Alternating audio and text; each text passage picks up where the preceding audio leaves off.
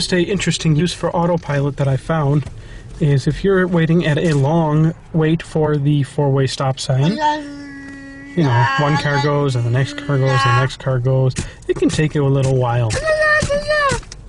If you're as excited as Vinny is over here, autopilot will just keep an eye on the car in front of you and do stop and go until it's your turn. Just remember when you finally approach the stop sign, uh, the car will just continue to follow the one behind it. At this current software revision of uh, firmware 7.1, the car will not stop or see stop signs. Vinny, that cup is empty. So, after the car in front of you goes, immediately uh, take over control of the vehicle or it will continue to go. This is also useful at stop lights where you're going to be sitting and waiting. The car will automatically follow the car in front of you once the light turns green. Just please, please exercise caution. That's right, Vinny.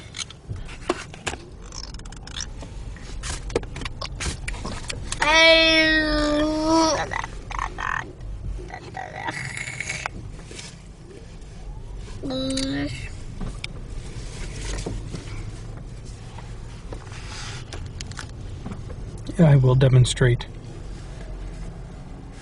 Car in front of me goes. Now my car would continue to go, but since there's no one in front of me, I will take control of the vehicle, and then it's my turn. Smile, cheese.